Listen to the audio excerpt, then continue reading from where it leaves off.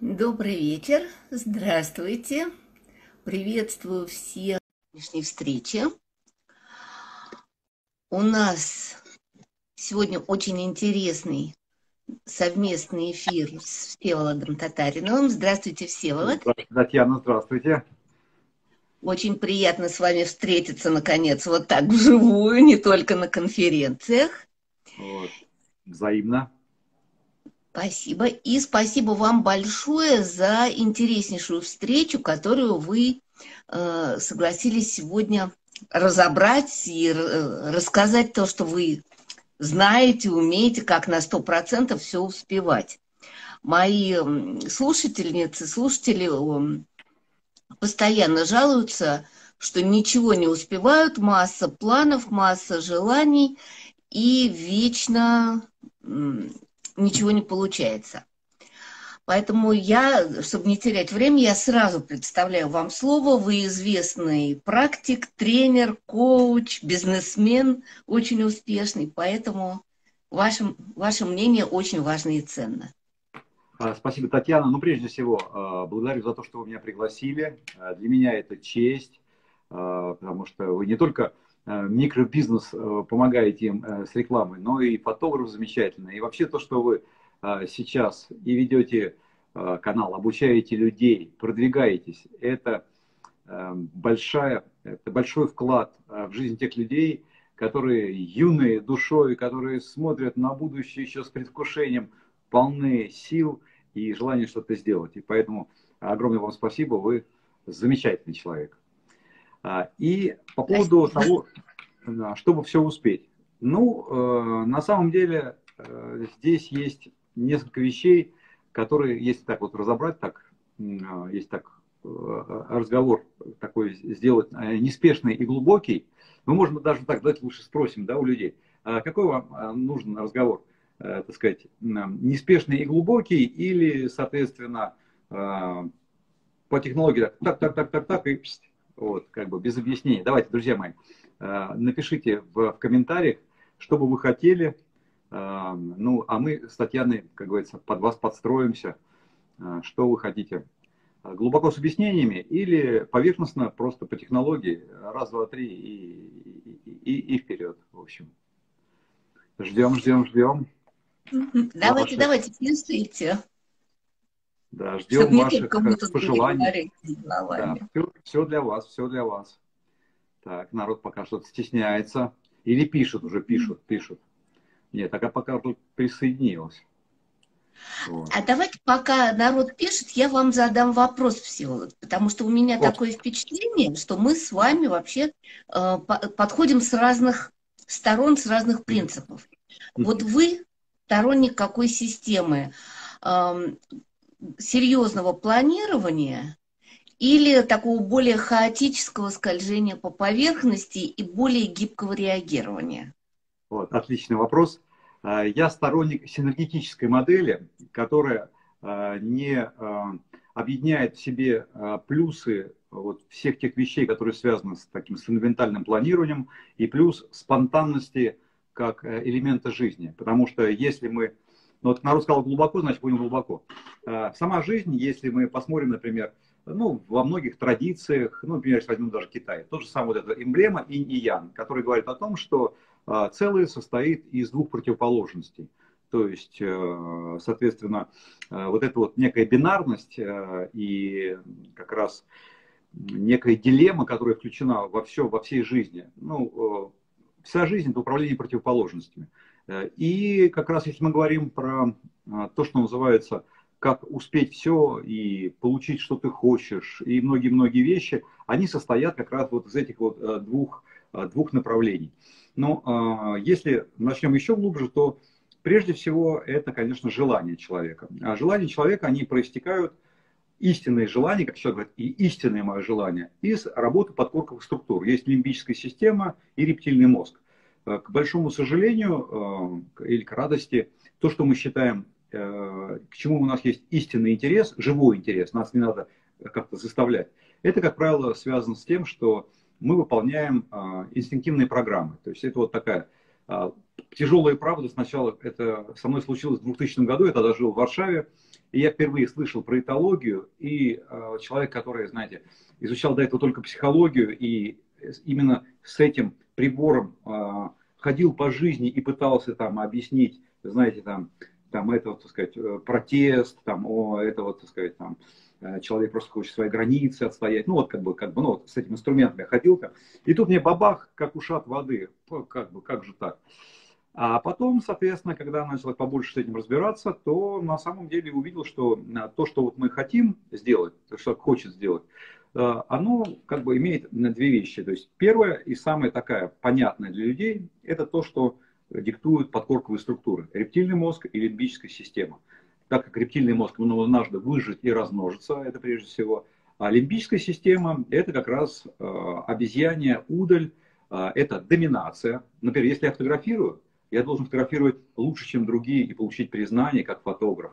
Э, чтобы, э, то есть, если я фотографирую для себя и никто этого не видит, ну, как бы это тоже хорошо, как бы, ну, а э, мне же нужно, чтобы братья по разуму сказали, О, браво, браво, э, просто маг, э, фотоаппарат, какой свет, какой момент, смотри, какая экспрессия, невероятно, невероятно просто, да. И человек говорит, да нет, что вы, что вы, ну я просто как бы, да, но это вот потом, доминация это некое рода соревнование, потому что человеческое существо, существо борьбы и победы.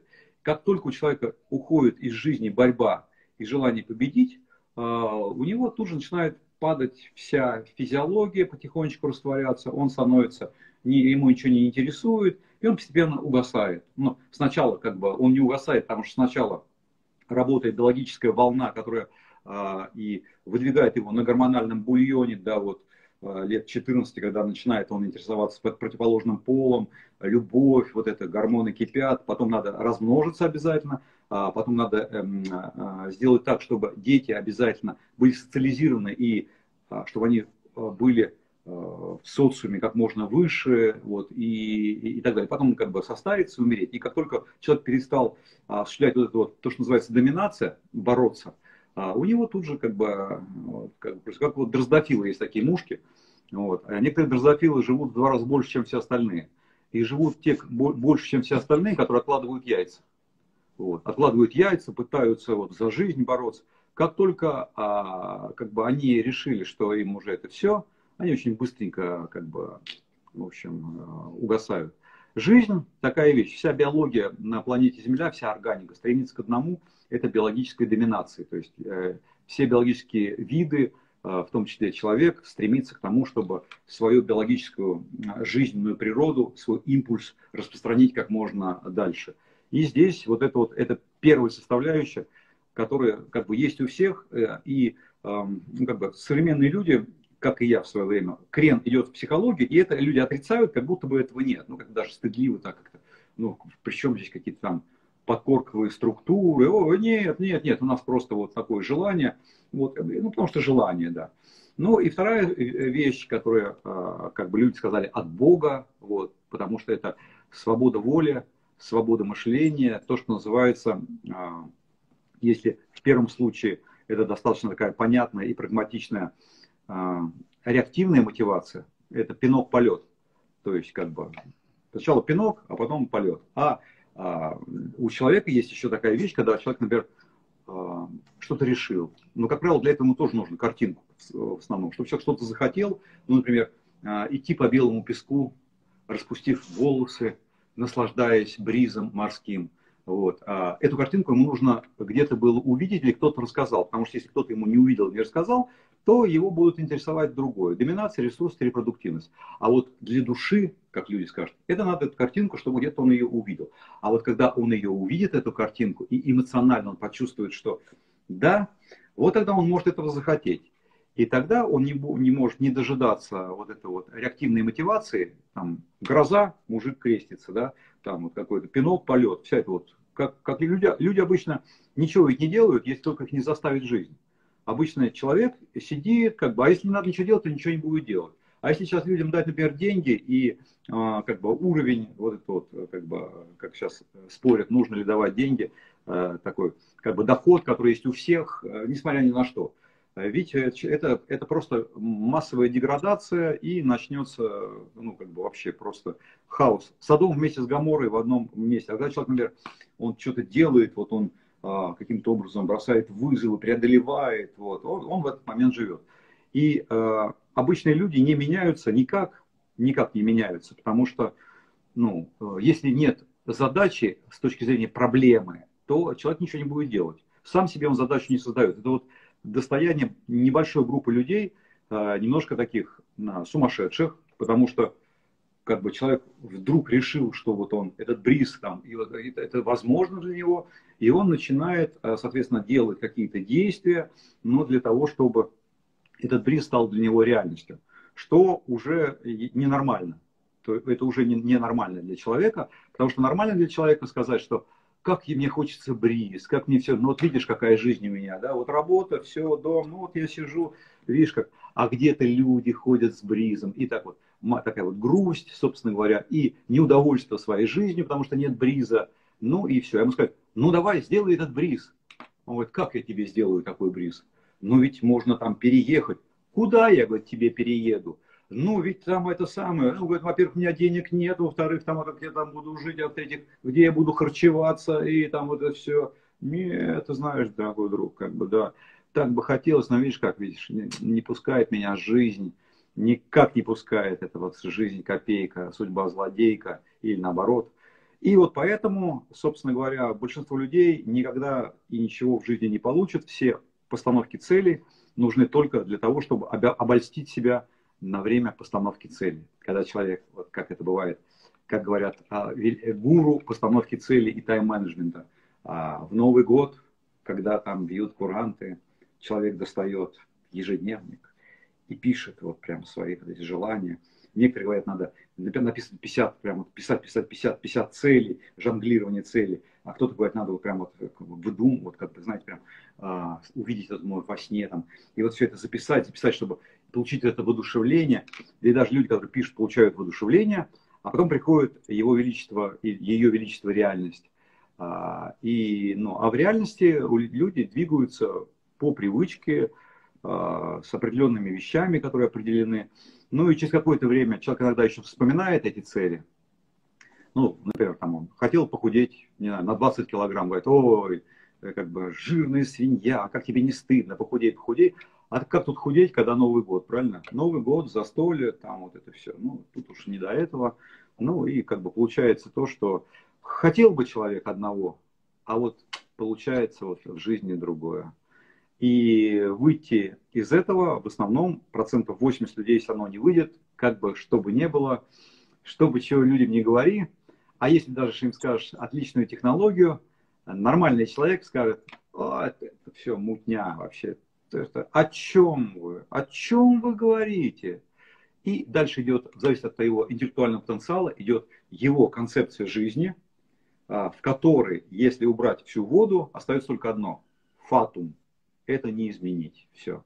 А если не изменить, ну, что нам тогда уже дергаться, вот это все, людей только смешить. И вот, если вот убрать все, то в основном будет вот такая вот вещь. Или там а, какие-то научные исследования, или псевдонаучные исследования, а, так сказать, потом а, от Демосфена цитирования Вергилия и же с ними, там, и туда же а, Фройда, который Фрейд у нас, ну и, и так далее. То есть все это вот, это вот это, эта тема. А по факту, если люди интересуются технологией, они ее, и это небольшое количество людей, людей принципе, таких ненормальных. Потому что нормальным быть человеком, это надо быть в 80% людей, которые живут как, как обезьяны. Но наличие, например, телефона не делает из человека человека, потому что обезьяны, как и все животные, живут исключительно реактивной мотивацией. Пинок, полет, гром перекрестился, там, чего-то там, ну, и все. А если нет, то человек отдыхает. А почему ему надо отдыхать? Ему надо получить удовольствие здесь и сейчас. Это лимбический мозг. Лимбический мозг говорит человеку, твоя задача получить удовольствие здесь сейчас. Какое лучшее удовольствие? Один говорит, мне надо, например, выпить, например, там бокал вина. А кто-то говорит, мне надо посмотреть на бриз.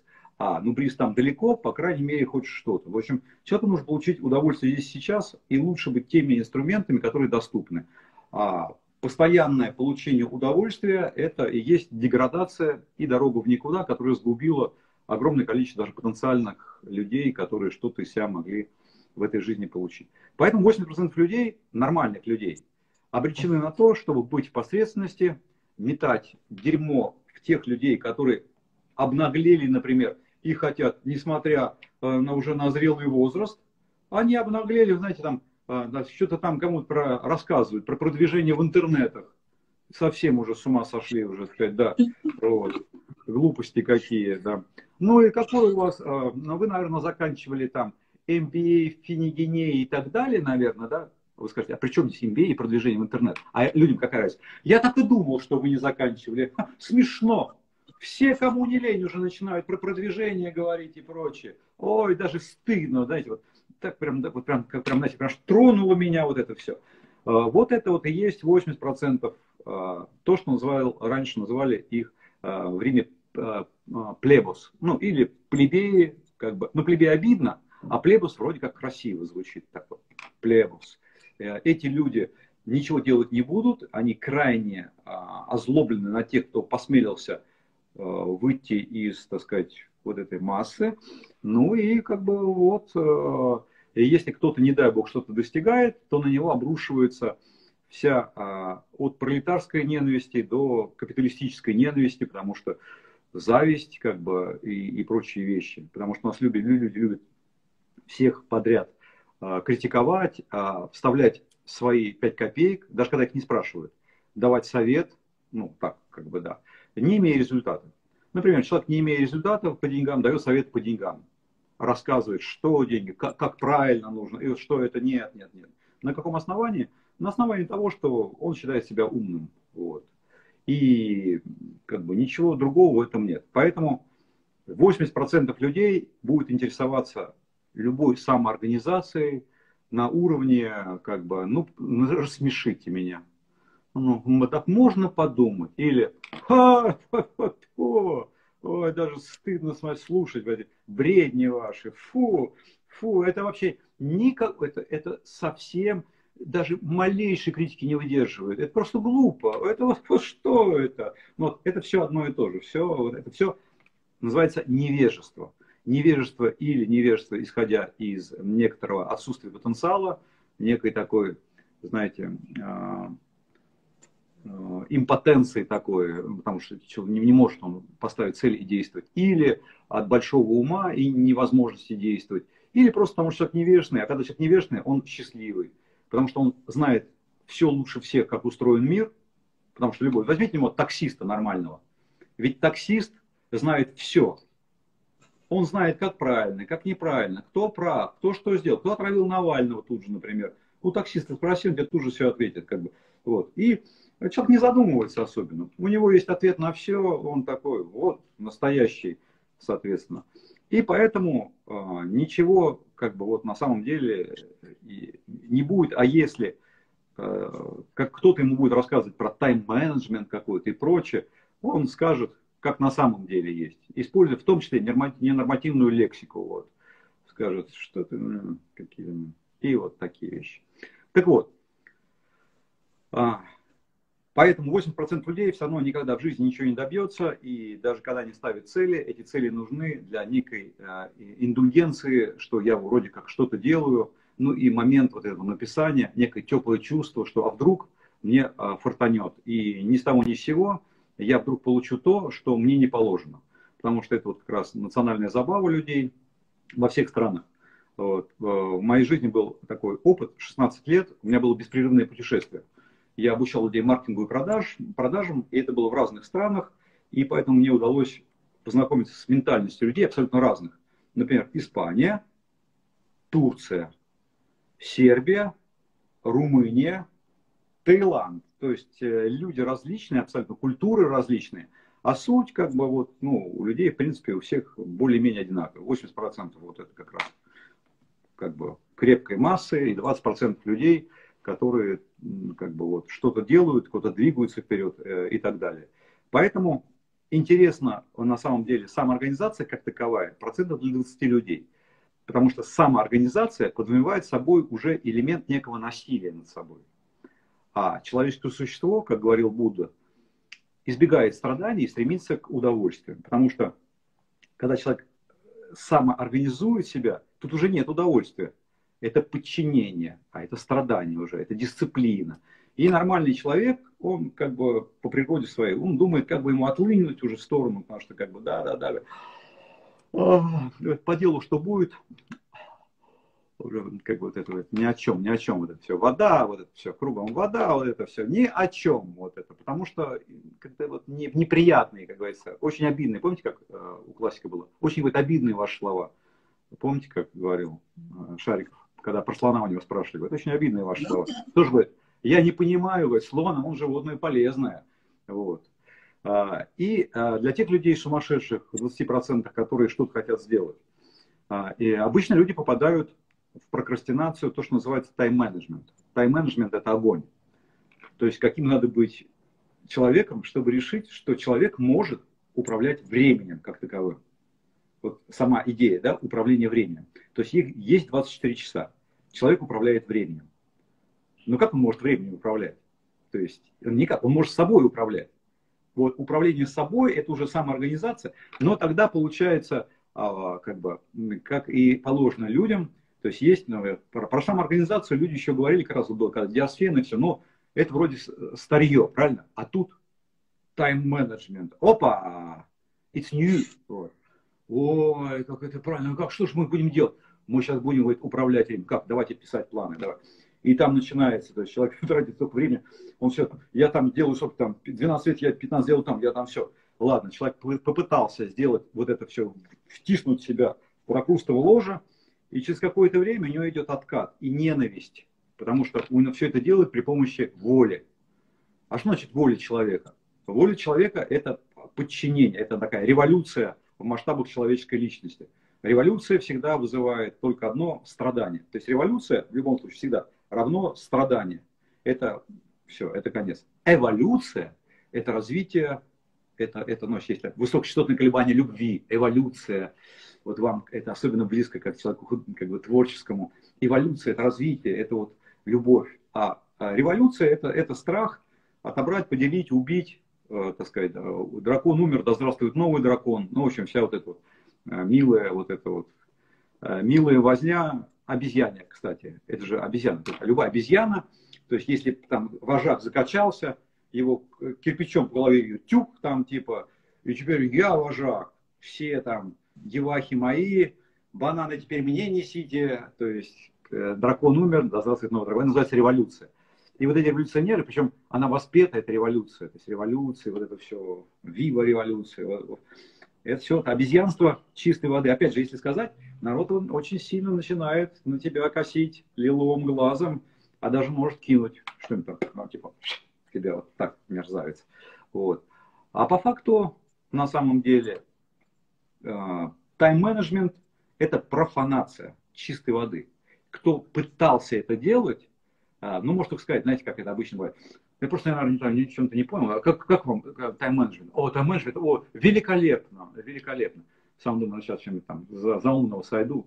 Тайм, о, о, великолепно, тайм-менеджмент, о, вы знаете, хо-хо, я прям, я, и так прям все пошло, пошло, там, да. Бесперспективняк полный, потому что, как это бывает? человек что-то начинает себя очень сильно, прям все так ставить, ставить, ставить, ставить, в конце концов откат, вот, в конце концов некая ненависть, потому что все, что делано на воле человека, вот исключительно на воле, когда человек напрягается, воля имеет свойство создавать сопротивление. Потому что это же подчинение, это насилие. Но сколько веревочки не виться, конец оно будет. Сначала насилие закрепляется на, на уровне ментальных программ, срыв, человек становится таким сумасшедшим, вот он начинает на всех как бы, ну, зависит, какой у него тип личности, да, он или автор, например, агрессия, или он, если там, по, по природе своей, потому, как бы животное начало у него высокоранговое, он, значит, найдет более слабого, на него как бы скинет все. А если человек порядочный, то должен, а, конечно же, а, скидывать всю гадость на людей близких. Ну, потому что они же близкие, они же поймут, и поэтому вот на них надо выливать свое дерьмецо, вот так вот из ушата, ну, недовольство своей жизнью. Вот. А, а, и, соответственно, ну, как бы ничего с этим не поделать, потому что действительно прокрастинация, само по себе вот этот тайм-менеджмент, там есть рациональное зерно, связано с тем, что называется самоорганизация, опять же, от тех же древних греков. Ну, все, все же это было, ничего как бы умнее не придумали. Ну, только теперь, если есть, например, у нас есть какой-то гаджет, и он мне показывает что-то, ну, ну, круто, но раньше записывали, ну, а как бы теперь гаджет, то есть, а суть остается. И поэтому, с одной стороны, когда у человека есть ну, определенные какие-то вот вызовы, которые он ставит на будущее, что он хочет сделать, он как некий архитектор будущего начинает как бы в этом момент делать. Вот. Это, ну, это плюс, конечно же, потому что э, все, что мы имеем, вот если посмотреть перед собой, оглянуться, все когда-то это было э, идеей чьей-то, чьей-то, это вот какая-то ментальная идея, которая потом была вот осуществлена. То есть поэтому, в принципе, конечно же, планирование как таковое, оно имеет место быть. То есть если говорить вообще никакого планирования, но это хаос. Как говорят опять же китайцы, планирование или структура – это то, что называется э, ян, э, то есть, пардон, инь. Это женская, женская составляющая. Женщина – это структура, это э, некая система. А мужское начало, как говорят китайцы, это ян, это хаос, вспышка, энергия, как бы и так далее. То есть, ну, разрушительно фактически. Если как бы и по, по, ну, по идее в нем есть ядро, а, соответственно, какой-то жизни, то а, фактически являясь жизнью Ян, в нем как бы много разрушений. А вот вместе все, как холодильник, например. Холодильник сам по себе это инь, а электричество это ян. А вместе все дает как бы, контролируемый холод, и все работает хорошо. Поэтому по отдельности вот это ничего не работает, и поэтому, когда у человека есть структура некоторая, что он хочет получить в жизни, потом ее надо наполнить действием. Вот.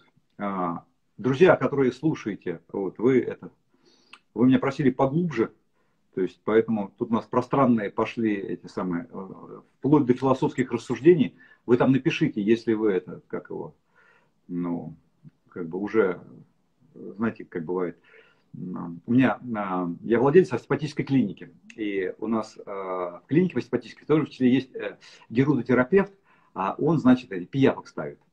И вы знаете, когда пиявка, она сидит, сидит, ну, когда потом, ну, особенно если там что-то было воспаленное и так далее, там как кровопоток очень, ну, как бы сильный кровоток, она напивается и так, типа, все, готово. Но она, э, ей ничего больше не нужно, потому что она слишком пере, это самое, ну, переела, ей больше не нужно. Так вот и э, некоторые люди бывают, э, когда слишком большой поток, человек берет, берет, и потом может начинать теряться, и как, как естественное свойство торможения, он говорит, уже все, харе, все, все, все, изыди давай, все, все мы поняли. Вот. А, пока, а, пока не спим, отлично. Вот видите, у вас какие замечательные люди, а, пытливые, пытливые. Нормальный человек уже, который, у которого, а, как у нормального а, как бы, человека, внимание отвлекается за секунду четыре раза. И поэтому, отвлекаясь за секунду четыре раза, тут уже как бы, ну, столько, что уже сколько, не выдержать уже, не выдержать, внимание столько не может быть. Так вот, когда у человека есть план, план у нормального человека, вот у тех 20%, которые ненормальные и думают, что они могут получить что-то от жизни, рождается при помощи того, что они создают ну, вот какой-то такой некий себе образ, опять же. Образ, у нас образное мышление, я создаю себе образ, это картина, я бегу там по белому песку, навстречу э, морскому ветру, Э, или всходит солнце, может оно, или наоборот, там, сансету, там, типа оно заходит. Я бегу, вдыхаю свободу, волосы развиваются на, на ветру, и ощущение счастья. Вот такую картину увидел человек, и говорит, все, вот это вот, да. Но он уже, он как бы а, понимает, что это есть. Когда он этого желает, это первый импульс, я этого хочу. Вот. Это хорошо, потому что когда у человека есть желание и какая-то картина, у него появилась конкретика. То есть он может это зафиксировать как цель некую, вот какую некую цель. И дальше ему надо срочно избавиться от повышенного желания это получить. Потому что избыточный потенциал желания это является антиполучением. Когда человек что-то очень сильно хочет, он создает проблему с получением того, что он хочет. Потому что он создает потенциал слишком большой.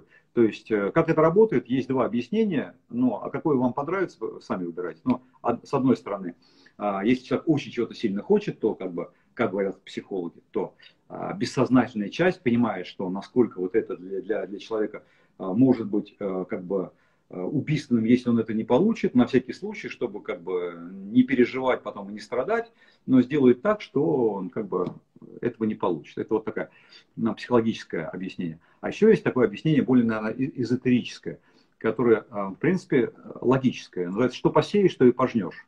У человека всегда в жизни что ты сеешь, то фактически и жнешь. Когда человек очень чего-то хочет, он транслирует, что у меня этого нет. Настолько у меня этого нет, что прям вот да. Когда он сажает семена, у меня этого нет, то всходят сначала а, деревья и плоды, а, нет, ты никогда не получишь, потому что это справедливо. То есть, ну, как бы, ты же, как бы, вот, это же и сажал, еще, я сажал, потому что хочу, ну, а как бы тут уж, вы понимаете, с точки зрения вибрации или различных там вот вещей, вот, как э, эзотерики говорят, тут уж ничего. Поэтому какое, какое нравится объяснение, выбирайте сами, тут уж, как говорится, на вкус и цвет товарищ нет. Но суть остается в том, что когда есть желание, его надо перевести в намерение. А намерение – это твердая решимость иметь. Но позвольте, я объясню. Давайте, друзья мои, с намерением и желанием. Руку положите, пожалуйста, сейчас на стол. На стол руку положите. И страстно желаете ее поднять, но не поднимайте. Потому что поднять – это сделать действие уже. Это не, не желание, это уже действие. А вот просто вот э, рука у вас лежит, и страстно желаете ее поднимать, но не поднимайте. Просто страстное такое желание, возможно, чтобы зубы сводило. Ну, как же рука поднялась, поднимись рука, но не поднимайте, потому что ну, это уже действие не надо делать. И вы скажете, ну это какая-то ну, глупость какая-то, потому что если я хочу, то есть я делаю. А вот это как раз а, делаю, когда человек начинает делать, это не желание, это выполнение некого приказа, некого задачи. Это то, что называется намерение. Намерение – это твердое э, решение иметь. Твердым, э, когда человек что-то желает, начинает себя подбадривать. Как правило, он понимает, что он это не получит, и поэтому он хочет себя подбодрить, что ты сможешь, ты, потому что он чувствует, что не тянет.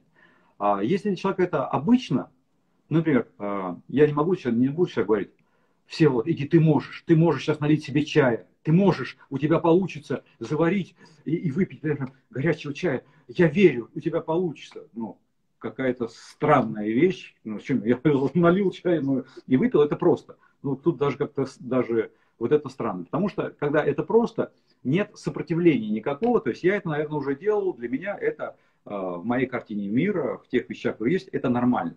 Если я начинаю себя подбадривать, скорее всего, я выхожу на новую для себя горизонт, который для меня не открыт, и, скорее всего, это э, для меня что-то новое. И вопрос мне нужна опора.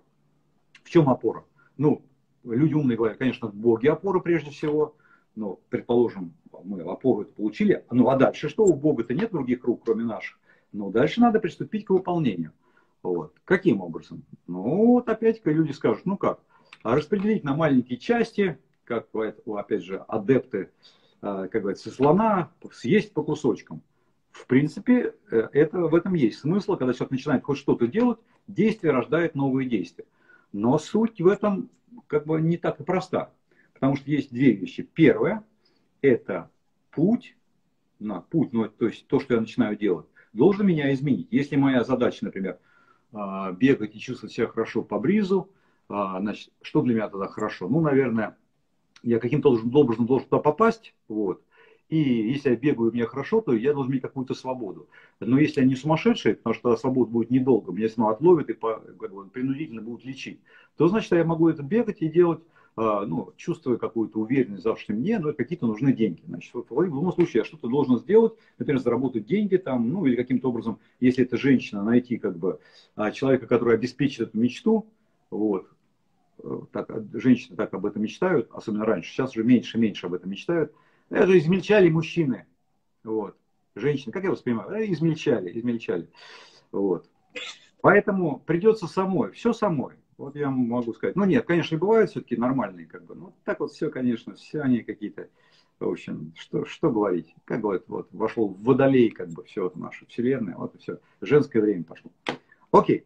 Так вот, когда человек создал намерение, а намерение это не желание, это уже твердая решимость иметь, дальше ему нужно что сделать? Перейти к действию. Потому что ежедневные действия должны, с одной стороны, его изменить, потому что если он до этого не делал это, у него, соответственно, не может быть и а, то, о чем мечтает, потому что ежедневные действия должны позволить ему измениться или трансформировать.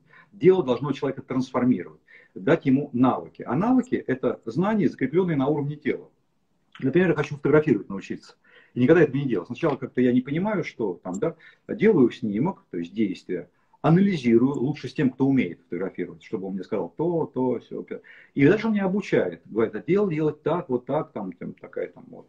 Я делаю, о, вот, уже как бы результат лучше, лучше, лучше, лучше. А потом, соответственно, э, для меня это становится простым, потому что я закрепил э, эти знания на уровень тела. Я смотрю, и, и у меня нет там, а сначала так мне надо сделать там, ну, как бы я это делаю уже неосознанно, потому что это стало моей компетенцией неосознанно. Я настолько закрепил это на уровне тела, что это мой навык. И тогда я могу фотографировать, соответственно, я могу увидеть что-то другое. Для меня интересно, например, уже настроение, что-то такое, чтобы поймать. То есть я не буду делать технические вещи, а как сейчас, сейчас что-то мне как-то надо вот это. Вот. Э, это, это уже будет на, на автомате, и я буду смотреть что-то более стратегическое. Тактические вещи уже у меня находятся на уровне тела, я получил скиллы. Так вот, это закрепление на уровне тела и позволяет человеку, а, соответственно, осуществить движение с минимальными усилиями. Потому что как только вначале человек что-то делает новое для себя, а, а, его организм крайне против этого.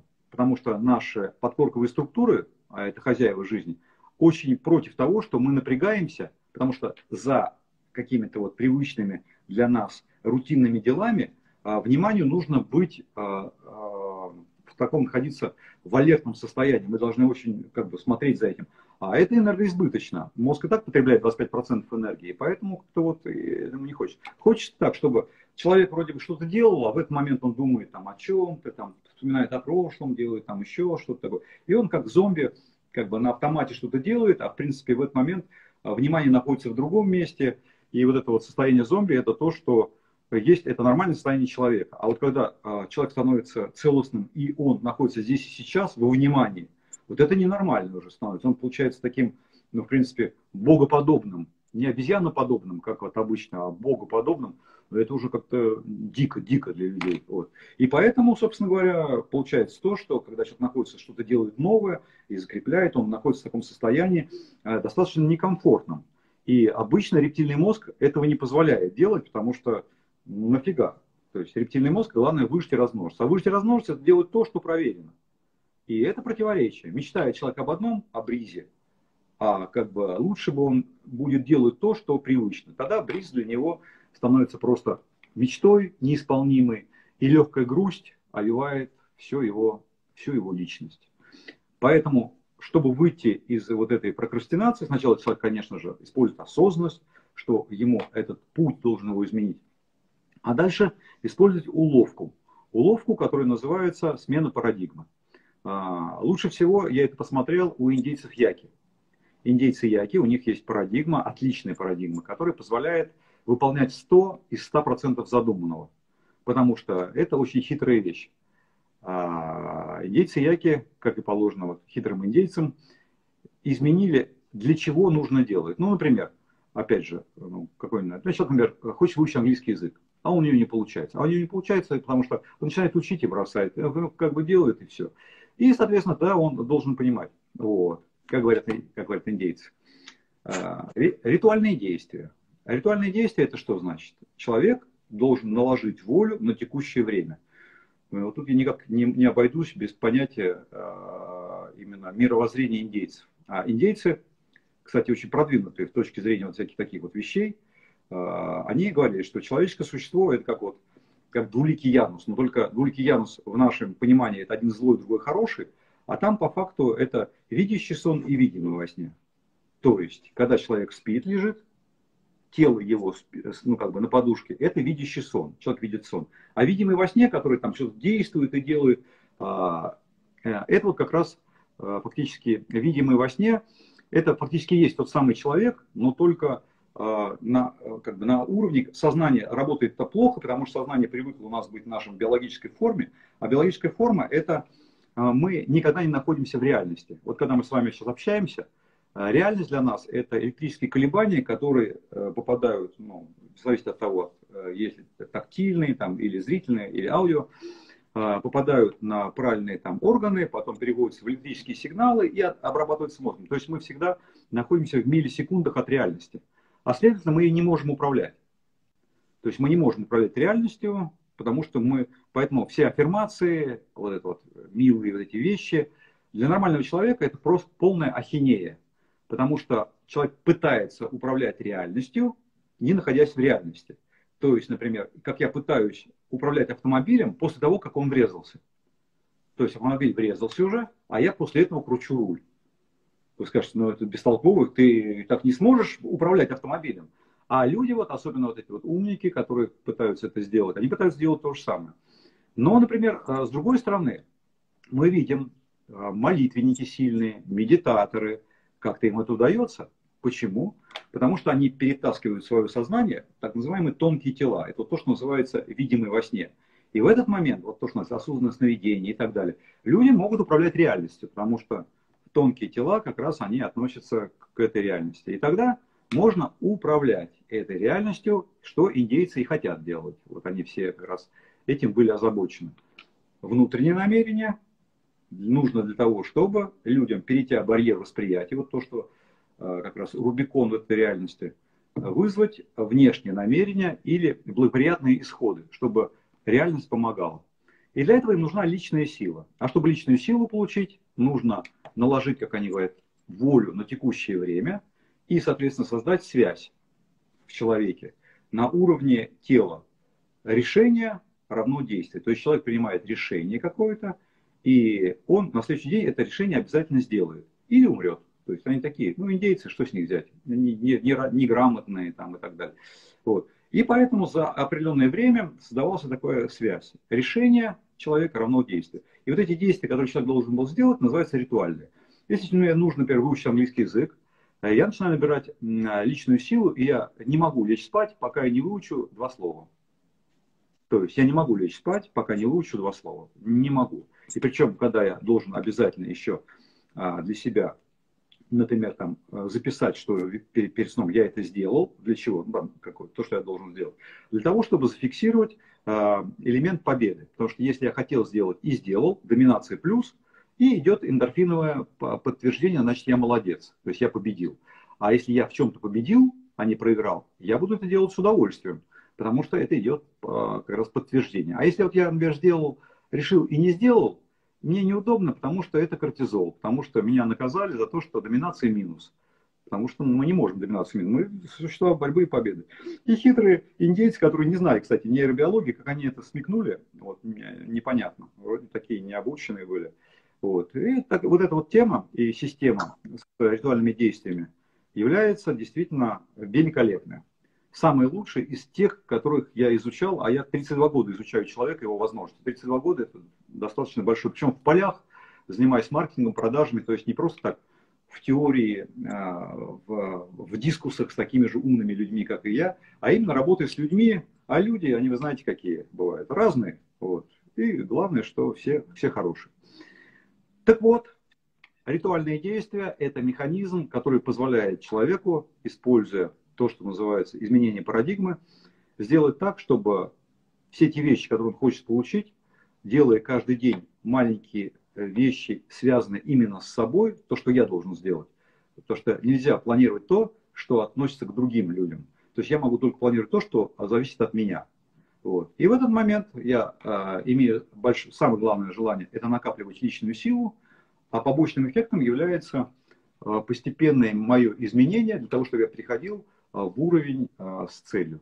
Ну и э, увеличивая личную силу, человек может все-таки инициировать так называемые внешние намерения и обеспечить себе благоприятные исходы. Благоприятные исходы – это называется удача или везение, или фарт, когда ну, каким-то образом удивительным хочет человек что-нибудь, и встречается человек как специально, вот, который как бы это, да. Или, например, там, а, как бы проспал человек, и в этот момент и самолет тоже задержался, и он как бы спокойно себе попал. Ну, такие непредвиденные вещи, которые нельзя теоретически никак как бы сопоставить, но тем не менее работают. Вот а, таким образом человек может получить 100% из тех вещей, которых он для себя сделал. Это было пространное философское объяснение с, без каких-либо технологических конкретных вещей, ну и, собственно говоря, мы с вами уже 45 минут э, замечательным образом э, выслушиваем мой, мой, так сказать, монолог. Вот. Э, ну и, друзья мои, э, все, что мог я, как говорится, всю технологию вот, ну, концептуально рассказал. Вот. А, вот, э, как бы такие вот вещи. Э, не знаю, насколько я э, как бы был полезен для аудитории, но то, что Татьяна кремень просто, это сто процентов. Это Татьяна все время слушала, как бы, представляете, 45 минут она слушала меня, была в таком состоянии, что просто изумительно. Какой культурный, воспитанный и замечательный человек, когда вот слушал бредни другого гражданина вот, в течение 45 минут. Ну, вот, пожалуйста, а... Всеволод, не называйте то, что вы сказали, бреднями. Я сидела и наслаждалась вашей речью. И отдельное колоссальное вам спасибо за все те аллюзии, за все те литературные, кинематографические отсылки и цитаты, потому что для меня это еще было, помимо всего прочего, колоссальное наслаждение слышать человека, на свои, говорящего на моем языке. Это настолько редко встречается в сети, не говоря уже о том, что вообще сама тема разговора безумно интересная. Поэтому я просто вообще не заметила, как время пролетело, получала огромное наслаждение вас слушая. Замечательно. А, ну, Татьяна, я тогда жду вас завтра а, у себя на канале, потому что так как у меня как раз много людей, которые занимаются бизнесом, и у них маленький бизнес, некоторых микробизнес. Ну, просто люди хотят, например, продать свои какие-то услуги, да, или поделки, и поэтому они осваивают и соцсети, и современные методы маркетинга.